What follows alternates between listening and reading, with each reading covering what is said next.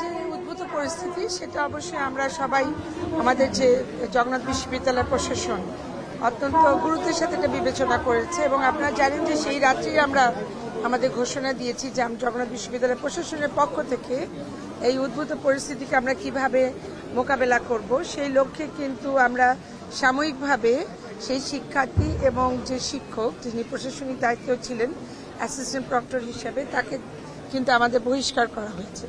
এবং এটা হচ্ছে যে আপনার যদি যৌন হয়রানি প্রতিরোধের যে কমিটিটা করা আছে হাইকোর্টের নির্দেশে, সেই মোতাবেক সেইটা যদি দেখেন, সেটা আইনে এখনও পরিণত হয়নি, কিন্তু নির্দেশটা আছে। সেই নির্দেশে আছে যে যাদেরকে অভিযুক্ত করা হয় এই ধরনের ঘটনায়, তাদেরকে আসলে তাদের কর্ম থেকে প্রত্যাহার করা হয়। এবং এটা খুব একটা কঠিন সিদ্ধান্ত, এবং সেটি জগন্নাথ বিশ্ববিদ্যালয় নিয়েছে।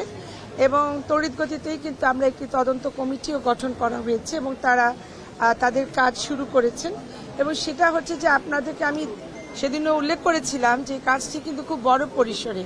কারণ একটি মেয়ে আত্মহত্যা করেছে এবং সে তার নোটে উল্লেখ করে গেছে কিছু ঘটনা। এবং তার সাথে কিন্তু তার একটা ছাত্রী যখন বা শিক্ষার্থী যখন বিশ্ববিদ্যালয়ে আসে, তার কিন্তু একটি বলয় তৈরি হয়। তার বন্ধু বান্ধব হয়, তার হলে থাকতে পারে, সে মেসে থাকতে পারে, তার বিভাগের শিক্ষকদের সাথে তার একটা র্যাপোর্ট তৈরি হচ্ছে। প্রশাসনিক অনেক কর্মকর্তার সঙ্গে তার যোগাযোগ হয়, তাহলে যখন আমরা এই ধরনের একটা তদন্ত করি, তখন একটা বড় পরিধিতে কিন্তু সবকিছু সূক্ষ্মভাবে যেমন তার অভিযোগগুলি আমরা বিশ্লেষণ করব তেমনইভাবে যারা অভিযুক্ত হয়েছেন, তারা কি পর্যায়ে ছিল, কীভাবে তারা রিয়াক্ট করেছেন এবং তাদের সাথে আরও কেউ এখানে সম্পৃক্ত ছিল কি না কারণ সবটাই তো টিম ওয়ার্ক বিশ্ববিদ্যালয় পর্যায়ে তো এককভাবে কিছু হয় না।